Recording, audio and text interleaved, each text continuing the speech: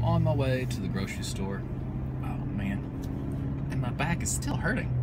This is the longest I think I've ever had this back pain like this. Um, basically, one night when I was back, when we had to go back for my aunt's funeral, the bed that they have is horrible. It's a pillow top mattress. I hate, repeat that, I hate top mattresses. They're too soft. They don't like support your back or anything. So basically it's like, I think my back's just like kind of slumped like that all night or something. And oh God, does it hurt. So it's like getting in and out of my truck. I have a big F-150 and um, it's got like 32 inch tires on it. So getting in and out, you have to step up. Getting in, no big deal. Stepping down.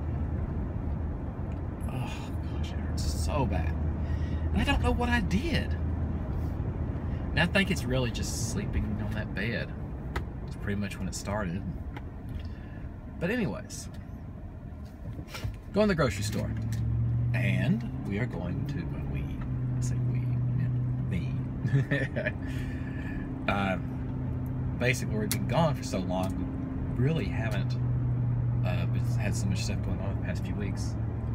I haven't been uh, the grocery store much. Basically, I've been stopping getting what I'm going to eat for like a day or two and then going back in two days. And that just, I don't like. I want to actually um, make it, I don't have to go to the grocery store, but maybe once every week or two weeks. I can't do that because Adrian goes through milk so quick. I have to go at least once a week, buy two gallons. He goes through two pretty quickly. Actually, I take it back. It's not him, just him. It's me also. I drink a lot of coffee. And my wife says I make Jethro-sized bowls of cereal. Not sure who Jethro is, but I'm assuming that it is somebody who makes very large cereal bowls. But um,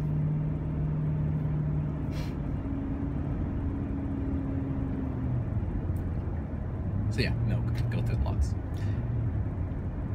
But it is Memorial Day. It is a holiday.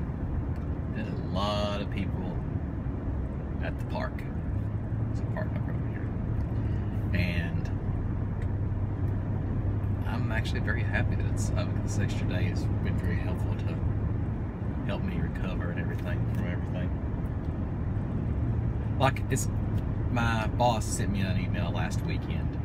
He told me he was you're driving over 100 miles to get where you are, so you qualify for seven days bereavement time. And I'm like, wow, that's actually really cool. That's very generous for a company to give you that. And I haven't been working there, but, but since um, December. So, but I was like, no, I, last Friday I went back to work and I sent him an email. I said, I really can't. Just sitting at home dwelling on things isn't going to help me any. And it really wasn't. I basically got to just sit at home. And... So I went to work Friday and uh, got some stuff done, not a lot. A lot of it was catching up on email and trying to get everything done. But now that I am got to get back into the full swing of things. So tomorrow is probably going to be server. it's been sitting there far too long. I should have already had that thing put up or put in, but that should be tomorrow. Putting that in the rack, getting everything connected, and um, just trying to make it work. Anyways, I want to get off here. I need to um, drive. My brain is, I'm really tired.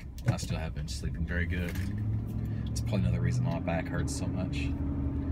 But anyways, also, I know another thing that's helped with this hurting is Adrian likes me to pick him up a lot.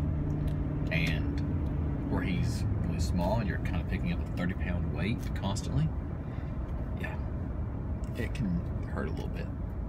But anyways, I'll talk to you later.